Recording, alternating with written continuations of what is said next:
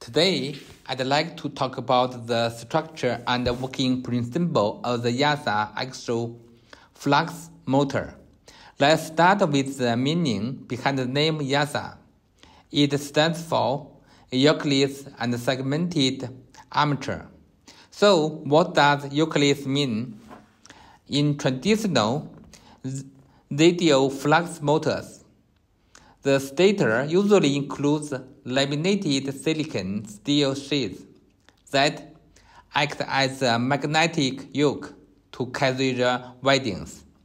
In contrast, a yokeless design means the stator has no magnetic steel structure to serve this purpose.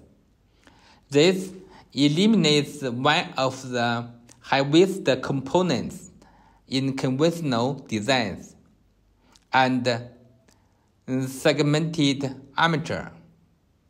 This refers to the fact that its coil in the stator is uh, independent and modular.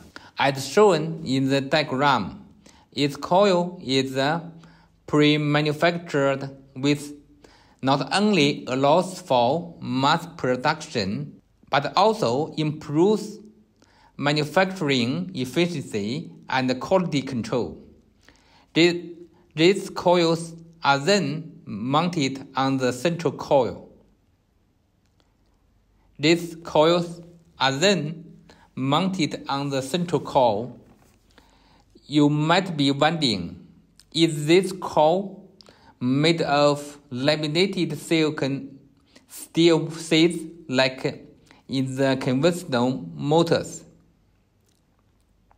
The answer is no. To meet the magnetic requirements and minimize eddy current losses, YASA adopts a wound coil structure instead of laminated sheets. Its coil segment is electrically and magnetically isolated from the others. But how is the stator assembled into one solid unit?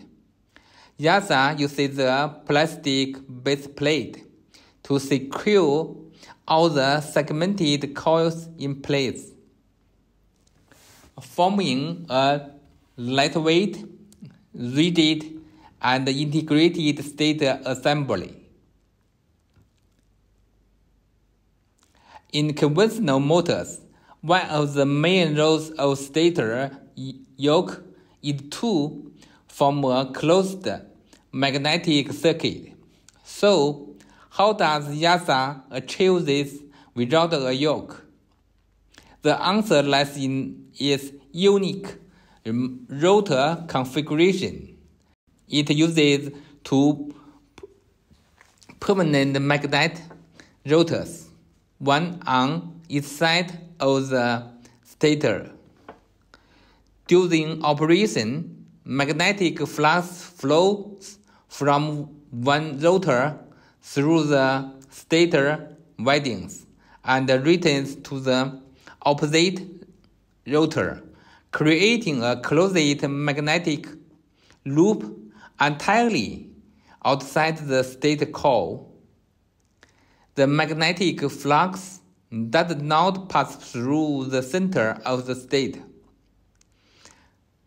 which eliminates the need for a yoke. This innovative flux path design helps reduce the hysteresis losses and greatly improves motor efficiency. That concludes today's introduction. Thank you for watching.